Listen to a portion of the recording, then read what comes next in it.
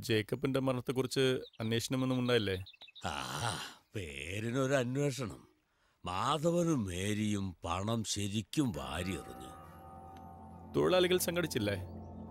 മുതലാളിയുടെ മരണത്തിൽ ദുരൂഹത ഉണ്ടെന്നും പറഞ്ഞ്. മാനേജർ മാധവനെ പാവപ്പെട്ട തൊഴിലാളികൾക്കൊക്കെ പേടിയായിരുന്നു. കേസ് അങ്ങനെ കെട്ടടങ്ങി. ഓക്കെ. ഫാദർ മെസ്സച്ചന് ഇങ്ങനെയൊരു അടുപ്പം വരാൻ കാരണം? അമ്മച്ചിയും അപ്പച്ചനും മരണപ്പെട്ടതിന് കാരണം മേരിയാണെന്ന് അവൻ അറിയാമായിരുന്നു. അവളോടുള്ള പക മൂലം ജേക്കബിന്റെ ശവമടക്കിന് ശേഷം അവൻ ആ വീട്ടിലേക്ക് മടങ്ങിപ്പോയിട്ടില്ല. ഞാൻ അവന് ചാപ്പലിനോട് ചേർന്നുള്ള ഒരു ചെറിയ വീട്ടിൽ അഭയം കൊടുത്തു. അപ്പോ ജേക്കബിന്റെ സ്വത്തുക്കൾ? അവിടെ മേരിയുടെ എല്ലാ കണക്കുകൂട്ടലുകളും തെറ്റി. മകന് പ്രായപൂർത്തിയാകുമ്പോൾ സർവ സ്വത്തുക്കളുടെയും പരിപൂർണ അവകാശം സച്ചിന്റെ പേരിൽ ജേക്കബ് എഴുതി വെച്ചു. അതറിഞ്ഞതോടെ മേരി സച്ചിനെ ബംഗ്ലാവിലേക്ക് തിരിച്ചു കൊണ്ടുവരാൻ പല വിധത്തിലുള്ള ശ്രമങ്ങളും നടത്തി. ഒടുവിൽ അവനിലെ കൗമാരക്കാരനെ വശീകരിക്കാൻ മേരി സിസിലിയെ നിയോഗിച്ചു. ചാപ്പലിനടുത്തുള്ള പുരയിലേക്ക് സിസിലി പലപ്പോഴും വരാൻ തുടങ്ങി.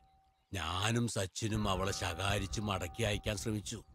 ഒടുവിൽ ഞാൻ പേടിച്ചതുപോലെ തന്നെ സംഭവിച്ചു. സച്ചിനിലെ പുരുഷനെ അവൾ ഉണർത്തി. ഒപ്പം അവനിലെ മാനസിക രോഗിയെയും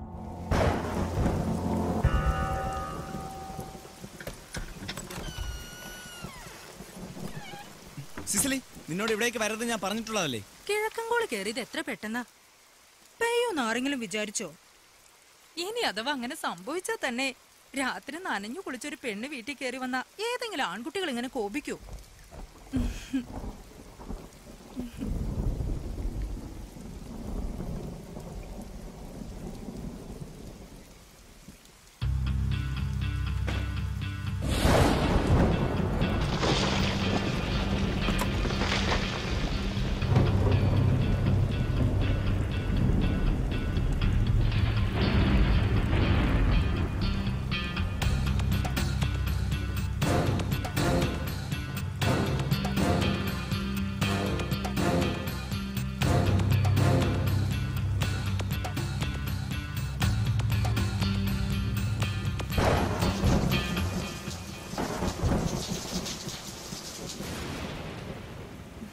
ബംഗ്ലാവിൽ ഞാനും മേരിയന്റെയും തനിച്ചല്ലേ? ഈ വാശിയൊക്കെ കളഞ്ഞ് നിനക്ക് അങ്ങോട്ട് വന്നൂടെ? അവിടെയാവുമ്പോൾ നിന്റെ ഏത് കാര്യത്തിലും ഞാനും മേരിയന്റെയും എപ്പോഴും അടുത്തുണ്ടാവും. നീ ഒരു ദിവസം ചാവും. അറിയാം. അതെനിക്ക് നന്നായിട്ട് അറിയാം മേരിയാന്റി പാവാടാ. നീ ഒരു ഒത്താണ എന്നറിഞ്ഞപ്പോ നിന്നെ കാണാൻ കൊതിച്ചിരിക്കും ആന്റി ഇന്ന് തന്നെ കൂട്ടിക്കൊണ്ട് ചെല്ലാന്നാ. മേരിയന്റെ ഞാൻ പറഞ്ഞിട്ട് വന്നേ.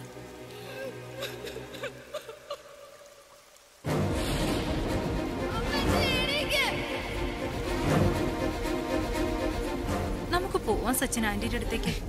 എന്നെ കൊണ്ടുപോകാൻ വന്നാണല്ലേ അതും എന്റെ അപ്പച്ചനും അമ്മച്ചയും കൊന്നവളുടെ അടുത്തേക്ക്. സമ്മതിക്കില്ല. ഈ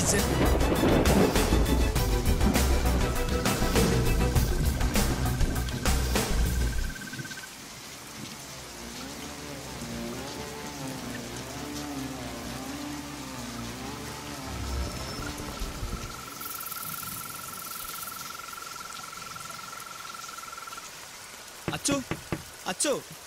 ആരാ? ആരാ ഈ പാതിര നേരത്ത്? ഓ നീയോ? എന്തേ? ഏ? അച്ചോ എനിക്കൊന്ന് കുമ്പസാരിക്കണം. കുമ്പസാരിക്കാൻ? ഈ നേരത്തോ? നേരം വെളുത്തിട്ട് പോരെ മോനെ.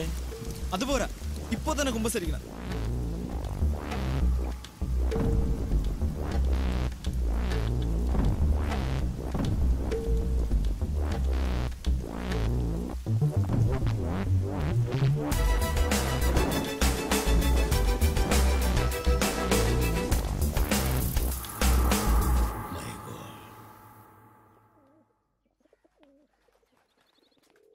സ്കീസോഫീനിയ സെക്ഷുവൽ ഇൻട്രാക്ഷൻ ശേഷം ഇണയെ കൊല്ലുന്ന അപൂർവമായ ഒരു മനോരോഗം. വായിച്ചിട്ടുണ്ട്.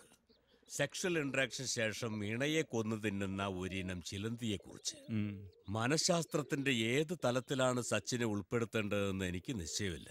പക്ഷെ ഒരു കാര്യം സിസിലിയുടെ കൊലപാതകത്തിലൂടെ അവൻ ആ ജോലിയിൽ കൂടുതൽ കരുത്തനും സമർത്ഥനുമായി തീർന്നിരിക്കണം. അപ്പോ നമ്മൾ ഊഹിച്ചതിനും അപ്പുറത്തായിരിക്കും കാര്യം കുറെ നാളുകളായി അവനെക്കുറിച്ച് എന്റെ മനസ്സിങ്ങനെ ആശങ്കപ്പെടുന്നു. എന്റെ ഇത്തരം ആശങ്കകൾ പലപ്പോഴും യാഥാർത്ഥ്യമാകാറുണ്ട്. ഒരു ഘട്ടം കഴിഞ്ഞാൽ ഇത്തരക്കാർ സ്വന്തം ശരീരത്തിന്റെയും മനസ്സിന്റെയും നിയന്ത്രണം നഷ്ടപ്പെട്ട് മൂന്നാമത് ഒരു ശക്തിയുടെ നിയന്ത്രണത്തിൽ ആകുമെന്ന് കേട്ടിട്ടുണ്ട്. Oh Jesus. നിസ്സഹായരായ പെൺകുട്ടികൾ അവന്റെ വലയിലാണെന്നറിയുമ്പോൾ ശിവരാമ മനസ്സിന് വല്ലാത്തൊരു ഭീതി തോന്നുന്നു. ഫാദറെ അവൻ അന്വേഷിച്ച ഇടങ്ങളെല്ലാം ഞാനും അന്വേഷിച്ചു. പക്ഷേ ബംഗളൂരിലെയും ചെന്നൈയിലെയും വില്ലാക്കളിൽ ആളെത്തിയിട്ട് മാസങ്ങൾ കഴിഞ്ഞു. നിങ്ങൾ വിചാരിക്കുന്ന പോലെ അത്ര എളുപ്പമല്ല അവനെ കണ്ടുപിടിക്കാൻ. ആരാലും ശ്രദ്ധിക്കപ്പെടാത്ത ഒരു സ്ഥലത്ത് ആർക്കും ഒരു സംശയത്തിനും ഇടവരുത്താത്ത ഒരിടത്ത് അവൻ അവന്റെ വല വിരിച്ച് കാത്തിരിക്കുന്നുണ്ടാകും. അവന്റെ ജീവിതം പോലെ അവന്റെ വഴികളും ദുരൂഹതകൾ നിറഞ്ഞതാണ്. എവിടെ ആയാലും അവനെ ഞാൻ കണ്ടെത്തും father. God bless you. Thanks father.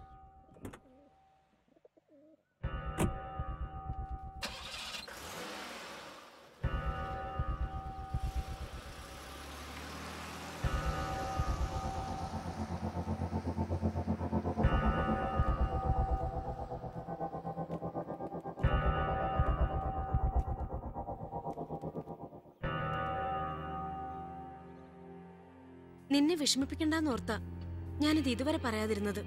സാഗറെ അവൾക്ക് സൗഹൃദം പണത്തോടാ. ഹിമയെ വീണ്ടും സച്ചിന്റെ അടുത്ത് എത്തിച്ചതും അതുതന്നെയല്ലേ പിന്നെ നീ എന്തിനാ അവൾക്ക് പിന്നാലെ? ഇതെന്നോട് നേരത്തെ പറയാമായിരുന്നില്ലേ സജന? ആ ദിലീപ് സുന്ദരത്തിന്റെ വലിയ ബാധ്യതകൾ തീർക്കാനുള്ള ഒരു വഴിയെ ഇപ്പൊ അവൾക്ക് ആവശ്യം.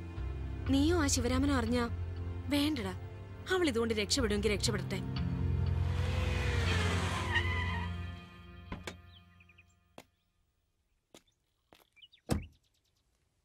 Okay okay.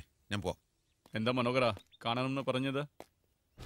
സാർ എന്റെ ഒരു സംശയമാണ് മേരിക്കൊപ്പം മാധവനെയും കാണാതായിട്ടുണ്ട്. അതായത് മാധവനും കൊല്ലപ്പെട്ടിട്ടുണ്ടാകാം. അങ്ങനെയെങ്കിൽ സച്ചിന്റെ ഇരകൾ പെൺകുട്ടികൾ മാത്രമാണെന്ന് പറയാൻ പറ്റുമോ sir?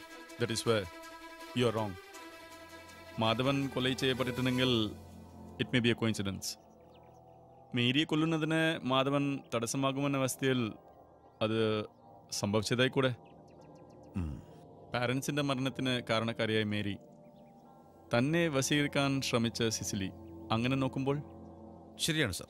സ്നേഹിച്ചു വഞ്ചിച്ച സ്ത്രീകളെ അയാൾ ടാർഗറ്റ് ചെയ്തു. പക്ഷേ സാർ കേട്ടിടത്തോളം ഈ കാണാതായ ഹിമയും മീരയും അത്ര മോശം ക്യാരക്ടേഴ്സ് ആയിരുന്നോ.